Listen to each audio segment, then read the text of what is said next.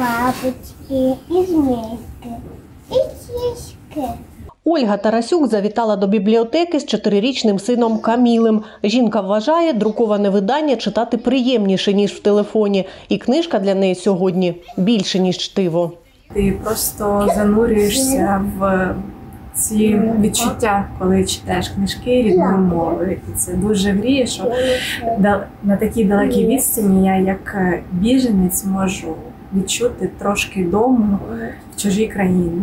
Відчути дім можна в бібліотеці норвезького міста Холместранд. Там з'явилися дві полиці, на яких книги українською. Стелаж із виданнями помітний. Він позначений синьо-жовтим прапором.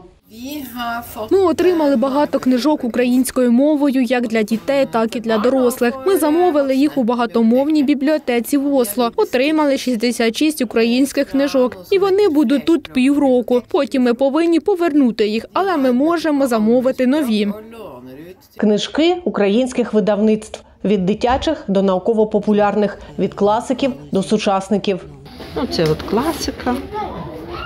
Гнат Хаткевич, 19 століття. Skal dere lappe? Hæ? Skal dere lappe? Ірина Роздобудька. Я думаю, що її будуть брати і читати з залюбки.